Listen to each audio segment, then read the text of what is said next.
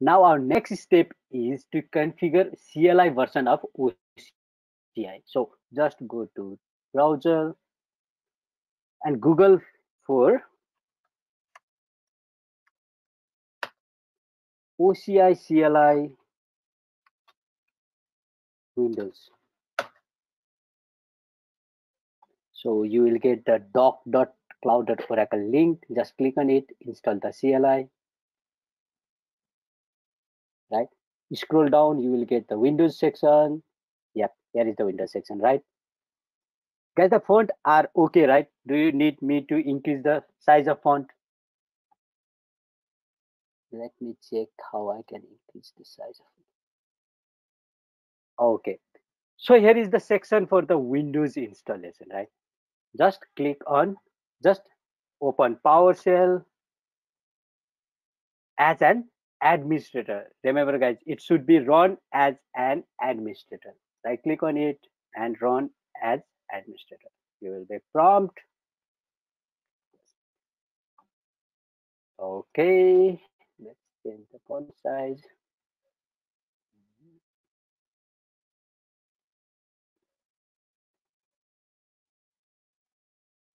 Okay, here it is.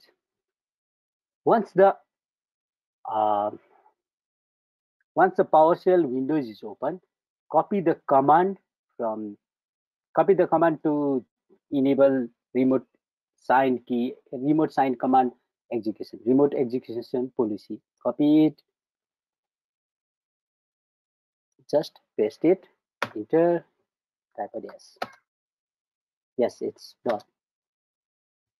And copy second command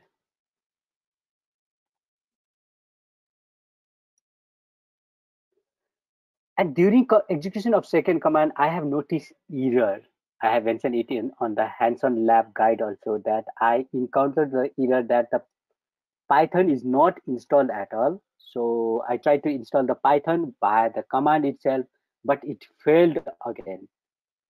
If you notice that the Python is required to the raw to run the CLI and it prompt me to install it and I pressed Y and install and I get an error message.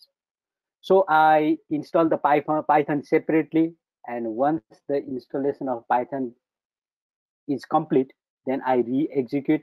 This is the step to install python.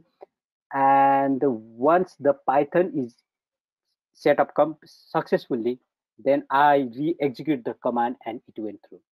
So if you get any python related error just install python on the second window and try it again. So i'm sure it will work.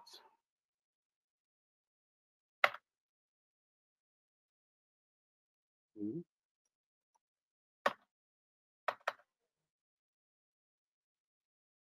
Okay.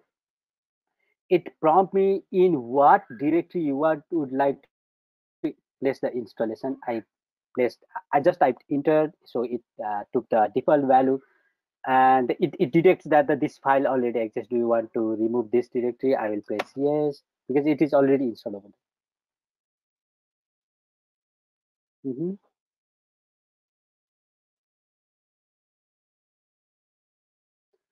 Okay, I think it is. I need to remove the directory. See, just, just, then leave right. OCIC. Just delete it.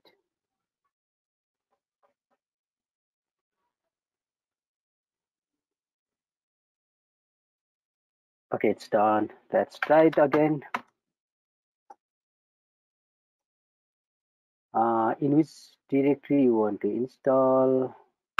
Select default, OCI executable, OCI scripts, blank.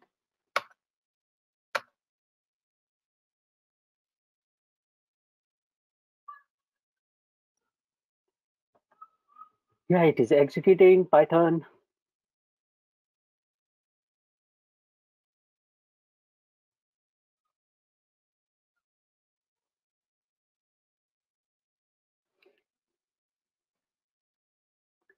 It is downloading and installing additional Python packages.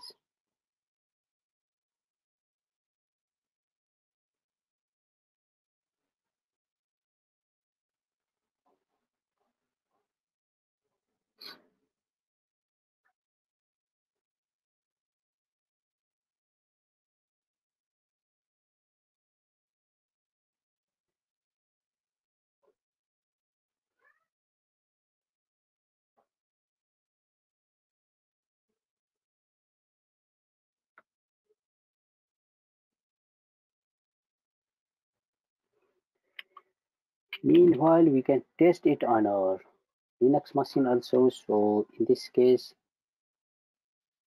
we need to go to the section where there is command for Linux.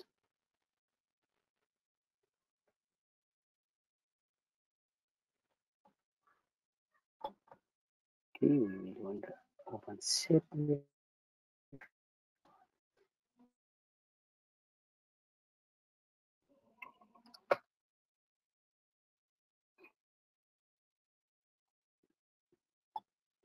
This is the command that I need to execute for the Linux, Mac OS, or Unix. Just copy it, run it in the Linux machine.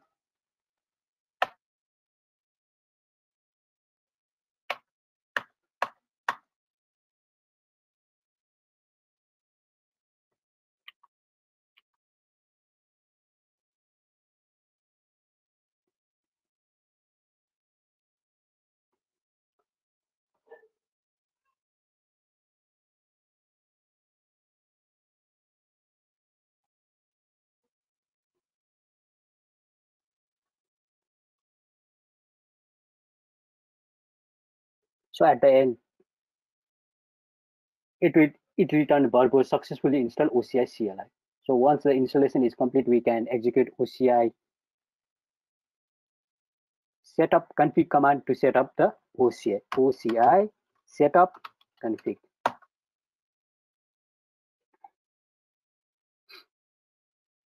This is the configuration for the OCI.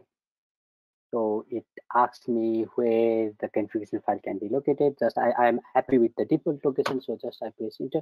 Now I need to provide the OCI. So for OCI you need to log into the OCI console.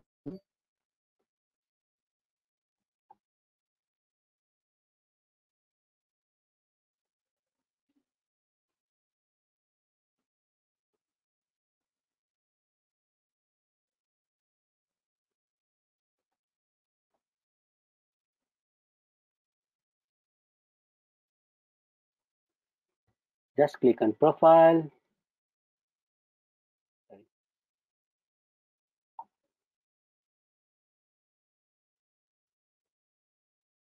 Okay, my time is out of sync because it's 5 a.m.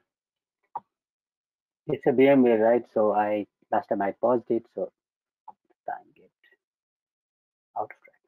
Yeah, it's 4:20 a.m. Now again, I have to re-log in it.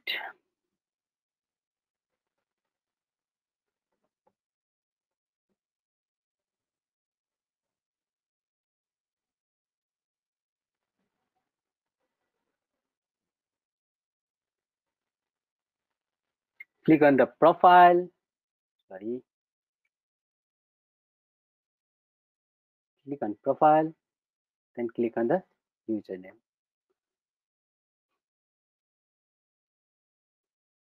Now you, get, you will get the username and there is a OCID for my username. Just copy it and paste it on the terminal. My tenancy OCID, so tenancy, click on tenancy.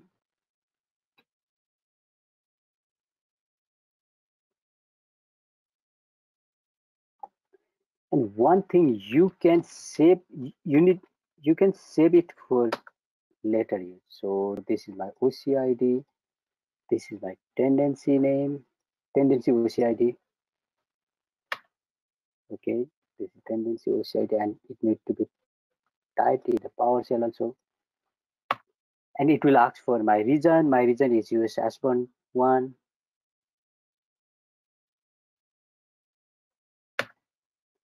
And it asks me for the API signing keys and I am happy with it. So just type yes and then enter the directory for the keys. I'm happy with the default direction and I, am also happy with the default name OCI underscore API underscore keys. So passphrase, I'm giving nothing for the passphrase and I'm done.